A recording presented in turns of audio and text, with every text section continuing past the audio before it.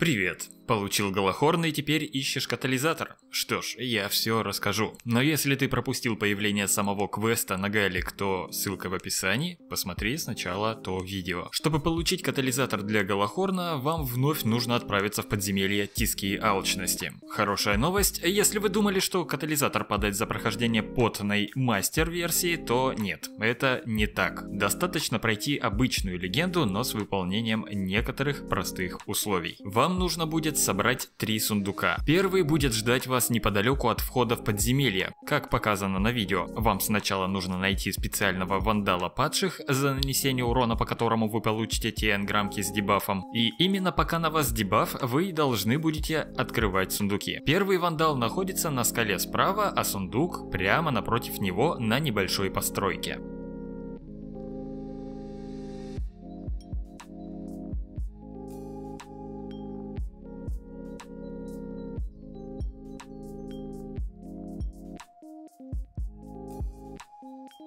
Второй сундук будет ждать вас в большой комнате, заполненной водой сразу после парковки, так назовем. Выбивайте дебаф из этого парня рядом и проходите наверх по коридору. На платформе справа от входа в зал вас и будет ждать сундук.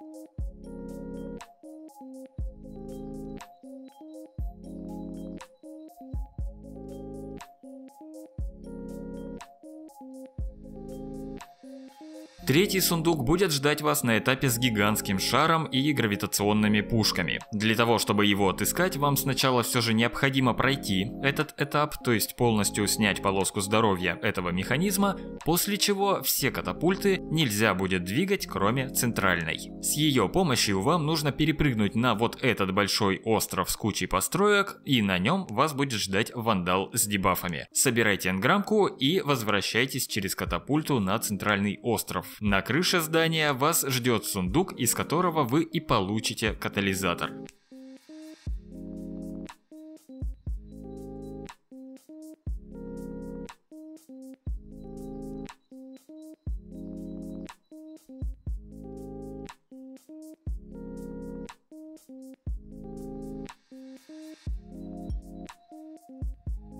Чтобы установить каталик в Галахорн, вам нужно заполнить шкалу убийств на нем. Быстрее всего это можно сделать на этапе с Шурачи в рейде «Последнее желание». Поскольку мы делаем катализатор на тяжелое оружие и нам нужно много патронов, а тут есть где поставить флаг для подзарядки и много мелких мобов для фарма. Порядка 6-7 заходов и каталик будет готов. Что делает катализатор? Во-первых, теперь Галахорн держит в заряде две ракеты, прямо как в первой части. Это довольно полезная особенность для ДПС по боссам. Во-вторых, его маленькие заряды в ульфпаке тоже будут улучшены. Убивая противников этими самонаводящимися осколками, вы создадите еще таких же, но которые будут наносить увеличенный урон, что хорошо видно по желтым цифрам дамага. Если в обычном Галахорне за выстрел вылетает 6 снарядов, то с катализатором их будет 12.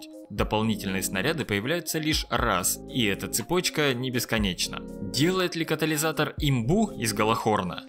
Хороший вопрос. Хороший вопрос для обзора, который выйдет чуть позже, чтобы мне побольше времени было и с ним побегать, поиграть.